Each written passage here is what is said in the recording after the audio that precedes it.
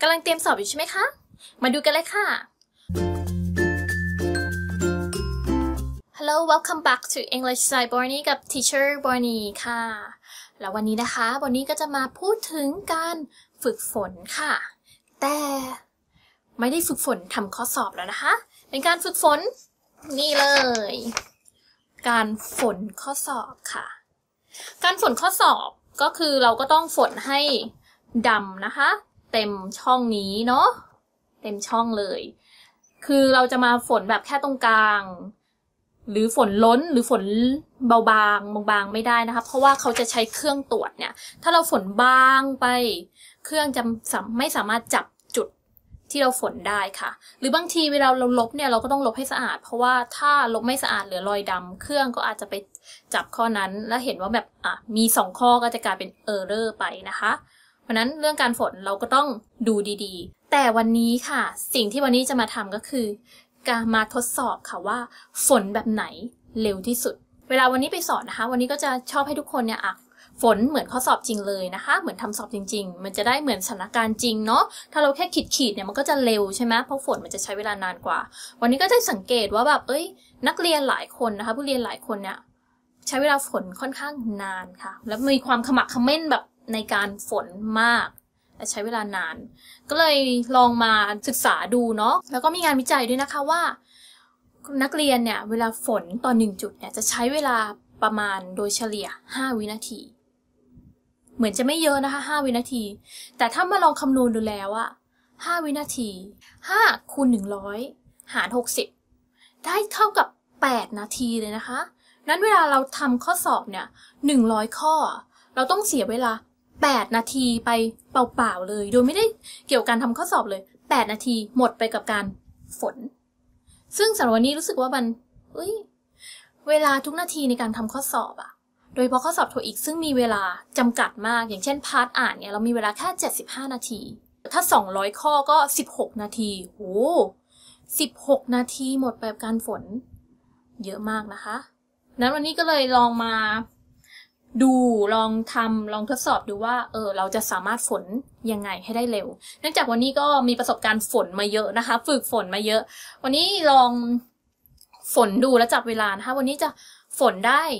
สูงสุดก็คือ 3 วินาทีต่อจุด เคยจับเวลาในการฝนตัวเองไหมคะว่าเราเวลาฝนที่หนึ่งเนี่ยเราใช้เวลาเท่าไหร่ ของวันนี้ก็คืออย่างมากเลยนะ 3 วินาที ต่อมาก็เลยลองมาทดสอบค่ะ จากที่เห็นนักเรียนเนี่ยฝนก็จะมีวิธีการฝนหลากหลายแบบเนาะไม่ว่าจะเป็นการฝนแบบ อืม ไปทางเดียวอย่างนี้ การฝนวงกลมเข้า การฝนจากในออก หรือฝนแบบมั่วๆเลยอะ่ะวงไปเรื่อยๆอะ่ะเดี๋ยวก็เต็มเอง ฝนแบบไหน จะใช้เวลาน้อยกว่ากันค่ะ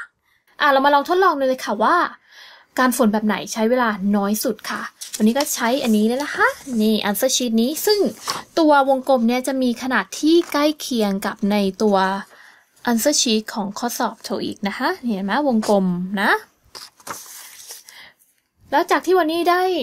ดูวิธีการฝนของนักเรียนนะคะ ก็จะมีการฝนอยู่หลากหลายรูปแบบกันไปนะ อย่างที่เห็นเห็นบ่อย ๆ ก็คืออะจะมีการฝนไปข้างๆอย่างนี้นะคะ อย่างนี้เลย ฝนท่านี้ ไปเรื่อยจนเต็มนะคะอาจบางคนอาจจะมีวงมา เพื่อให้เข้มกว่าเดิมหรือเต็มเป็นรูปวงกลมเปรี้ยนะคะ แต่โดยหลักก็คืออาไปข้างๆนะ แบบที่สองนะคะนี่แบบที่หนึ่งแบบที่สองฝนโดยการกลมจากข้างในนะคะกลมจากข้างในแล้วค่อยวนมาให้เต็มนะคะแบบที่สามอันนี้เป็นแบบที่บอนนี่ชอบใช้นะคะ ก็คือ วงก่อนทำเป็นรูปก่อนค่ะให้ให้ได้ขอบก่อนเสร็จแล้วค่อย เข้ามาข้างในให้เต็ม นี่แบบที่สามรู้สึกมันจะได้รูปกลมดีอะโดยไม่ต้องเล็ง แบบที่สี่คือ อันนี้จะเห็นบ่อยเหมือนกันก็คือ มั่วเลยทางไหนก็ได้มาถึงแบบ อืม เอาให้มันเต็มอะ่ะ เหมือนระบายระบายไปอะ่ะช่วยๆให้มันเต็มนะคะ อ่า แบบนี้นะคะ ก็มีทั้งหมดสี่แบบนะคะ โดยส่วนตัวแล้ววันนี้จะชอบใช้แบบที่หนึ่งกับแบบที่สามแบบที่หนึ่งบางทีก็แบบฝนฝนแล้วค่อยวงเนาะแบบที่สามคืออะเป็นกรอบไปก่อนเลยครับวงคราวนี้เรามาดูกันว่า แบบไหนใช้เวลาน้อยที่สุดค่ะ เมื่อก่อนที่วันนี้ใช้ไอแบบหนึ่งแบบสามก็ไม่เคยทดสอบนะว่าอันไหนใช้เวลาเร็วกว่ากันนะคะ ก็แค่แบบเอ้ยตามความถนัด แต่วันนี้เราจะมาลองดูเลยค่ะ เพื่อ จะได้รู้กันเลยว่าอันไหนดีกว่ากันเรามาทดสอบกันเลยค่ะว่าการฝนแบบไหนเร็วที่สุดค่ะนนี้ก็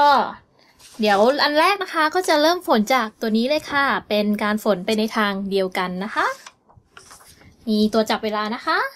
เรามาดูกันเลยค่ะ พร้อมนะนี่เตรียมพร้อมแล้วเริ่ม สามจุดหนึ่งเจ็ดนะคะวันนี้ปั่นเต็มที่เลยเนี่ยสามจุดหนึ่งเจ็ดมาสามวิกว่าเนาะก็ดำใช้ได้ค่ะ เดี๋ยวจะลองอีกรอบนะ ว่ามันยังนานอีกไหมนะ เริ่ม ก็โอ้ใกล้เคียงกันนะคะ ก็แปลว่า การฝนอันนี้สำหรับตัววันนี้นะคะ การฝนไปในทางเดียวกันนะคะ คือวันนี้จะวิธีฝนในทางเดียวกันเลยอย่างนี้ แล้วอาจจะมากบวงกลมอีกรอบเพื่อให้ มันเป็นรูปวงกลมค่ะ ก็ใช้เวลาโดยประมาณ 3 วินาทีกว่าๆค่ะ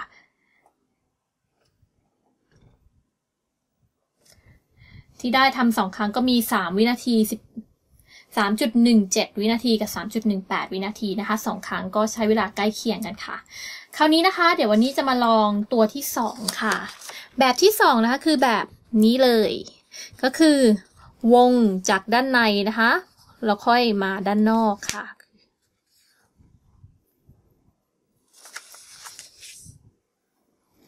มาลุดเลยค่ะ อ่าดูซิแบบนี้จะใช้เวลาเท่าไหร่ เริ่ม อู้ได้สองจุดหกสามนะคะ ในครั้งแรกอะไหนลองอีกครั้งหนึ่งนะ เริ่ม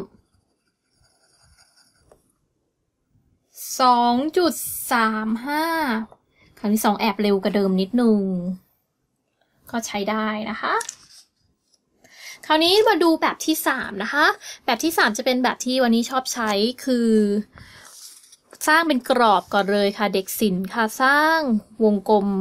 เป็นกรอบก่อนเลยแล้วค่อยมาเข้ามาระบายข้างในค่ะ เป็นวงกลมอย่างนี้ค่ะ สร้างกรอบ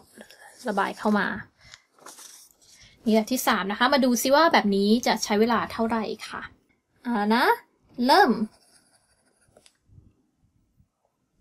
อู้หนึ่งจุดสี่สี่นะคะ รอบแรก คราวนี้เรามาดูรอบที่สองนะคะ ได้หนึ่งจุด สี่สามก็ถือว่าใกล้เคียงกันนะคะ ไม่ห่างกันมากค่ะ ก็คือหนึ่งจุดสี่วิค่ะ ถือว่าเร็วสุดนะคะเนี่ยสำหรับตัวสุดท้ายนะคะก็คือเป็นรูปแบบที่สี่นะคะ ก็คือการระบายแบบไม่มีทิศทางค่ะจะไปหลาย ๆ ทิศแล้วแต่นะคะ นี่ก็จะเป็นรูปแบบที่วันนี้เห็นค่อนข้างบ่อยนะคะ เวลาไปติวข้อสอบเนาะบางทีเขาอาจจะแบบอ่าไม่ได้ทันคิดอะไรมากก็อะระบายไปเรื่อย ๆ ให้เต็มนะคะ เรามาดูกันว่าแบบเนี้ย จะใช้เวลาเท่าไหร่ค่ะ เริ่ม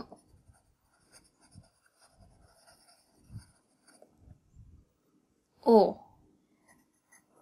สี่จุดสองสี่นะคะ เดี๋ยวลองอีกรอบนะคะ อ่า แบบไม่มีทิศทางนะคะ แบบไม่มีทิศทาง เริ่ม อ่าสามจุดสองหกก็ สองรอบไม่ค่อยเท่ากันเท่าไหร่รอบแรกอาจจะแบบ ไม่ค่อยชินมือเนาะเพราะไม่ค่อยได้เคยระบายแบบไม่มีทิศทางเท่าไหร่ แต่โดยเฉลี่ยแล้วก็ถือว่าค่อนข้างเยอะนะคะ ก็ประมาณ 3 วินาทีกว่าๆสามถึงสี่วินาทีเลย ถ้าเราระบายแบบไปเรื่อยๆอะเนาะก็คงได้ข้อสรุปแล้วนะคะว่าการฝนแบบไหนเร็วกว่ากันค่ะ เรามาสรุปกันเลยค่ะ ก็จากที่วันนี้ได้ เห็นนักเรียนส่วนใหญ่นะคะ ฝนก็จะมีทั้งหมด 4 แบบด้วยกันนะคะ ก็คือ 1 แบบที่ฝนเป็นในทางเดียวกันนะ 2 ฝนจากในมาหานอก 3 ฝนเป็นกรอบก่อนเข้าหาใน และ 4 ฝนมั่วเลยทางไหนไปทุกทางเลยค่ะ ก็ผลออกมานะคะ และสำหรับแบบที่ใช้เวลาฝนน้อยที่สุดค่ะ อันดับหนึ่งเลยค่ะ คือแบบที่สามค่ะ แบบที่สามค่ะ ก็คือการฝนเป็นกรอบก่อนนะคะ แล้วค่อยเข้ามาข้างในค่ะ อาจจะเป็นเพราะว่าเอ้ยพอเราทำเป็นกรอบแล้วเราก็ไม่ต้องกังวลแล้วว่ามันจะไม่มันจะออกนอกเส้นอะไรเงี้ยแล้วข้างในเราก็ทำได้เร็วค่ะ แบบนี้นะคะใช้เวลานะคะสำหรับวันนี้ใช้เวลาเพียงแค่ 1.44 วินาทีค่ะ แค่แค่วินาทีกว่าๆก็ฝนเสร็จแล้วค่ะ เร็วสุดๆเลยค่ะ และอันดับที่สองนะคะก็คือแบบที่สองค่ะก็คือเป็นแบบที่ฝนจากในแล้วไปหานอกอันนี้ วันนี้ฝนได้ ใช้เวลาไปประมาณ 2 วินาทีกว่าๆนะคะ2.35 และ 2.63 ก็คือประมาณ 2 วิกว่าๆเยอะกว่าแบบที่ 1 วิหนึ่งค่ะ แต่วิหนึ่งก็เวลาในห้องสอบอะต่อจุดต่อวิต่อจุดอะเยอะกันวิหนึ่งพอรวมๆร้อยข้อก็เยอะนะคะเพราะนั้นเราน่าจะเลือกแบบที่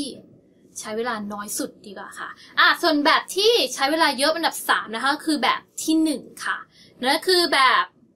แรกนะคะ ที่ฝนอะไปทางเดียวกันนะคะ แล้วค่อยมาวงค่ะ ฝนไปทางเดียวกันเลยปึ๊บค่อยมาวง อันนี้ใช้เวลาไปประมาณ 3 วินาทีกว่าๆนะคะ3.18 วินาทีค่ะ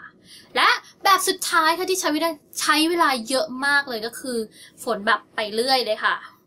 ไม่เป็นทิศเป็นทางก็คือแบบอะเอาให้มันเต็มอะเอาให้มันเต็มฝนไปเรื่อย ก็คือแบบสุดท้ายนะคะ ใช้เวลาไป วันนี้ทำสองรอบได้ไม่ค่อยเท่ากันเท่าไหร่นะ รอบแรกได้ 4.24 วินาทีรอบที่ 2 ได้ 3.26 แต่โดยรวมแล้วก็คือเยอะกว่าที่ทดลองมาทั้งหมดค่ะ นั้นเราก็ได้แล้วเนาะสำหรับการฝนนะคะ แบบที่เร็วที่สุดค่ะก็ให้ทุกคนลองสังเกตดูนะคะว่าตัวเองเนี่ยตอนนี้ฝนแบบไหนอยู่ แล้วมันช้าหรือเปล่า ถ้ารู้สึกว่ามันยังช้าอยู่ ลองไหมคะ ลองมาแบบมาฝนแบบที่เร็วกันค่ะ ไอเหล่านี้นะคะก็เป็นการทดสอบจากตัวบอนนี่เองนะคะ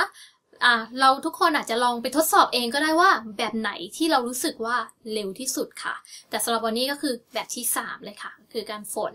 ลงแล้วเข้ามาระบายข้างในค่ะ เร็วที่สุดค่ะ ใช้เวลาแค่ต่อจุดแค่วินาทีกว่าๆเองค่ะ อันนี้นะคะก็จะเป็นในรูปแบบการทดสอบนะคะการฝึกฝนค่ะ ฝนในรูปแบบที่เร็วที่สุดค่ะ เพื่อเวลาในร้อยข้อเนี่ยได้ใช้เวลาการฝนน้อยที่สุดค่ะ ถึงแม้ว่าเราจะคิดว่ามันเป็นแค่จุดเล็กๆค่ะ แต่จุดเล็กๆจุดเดียว แค่วินาทีเดียวร้อยข้อร้อยวินาที ถ้าเราฝนยิ่งฝนนาน ยิ่งทำให้เราเสียเวลาในการทำข้อสอบค่ะ มันเป็นสิ่งที่ละเอียดอ่อนนะคะถ้าเราใส่ใจในจุดเล็ก ๆ เนี่ย นอกจากทำได้ถูกแล้วยังทำได้ทันด้วยค่ะก็ถ้าชอบเก็บความรู้ภาษาอังกฤษแบบนี้นะคะ ไม่ว่าจะเป็นการติวโทอีกกรามาหรือเป็นที่มาคำต่างของคำนะคะ ก็ติดตามช่อง English Style Bonnie กับ Teacher Bonnie นะคะ เป็นกำลังใจให้วันนี้ด้วยนะคะ แล้วก็เจอกันคลิปหน้าค่ะ สวัสดีค่ะ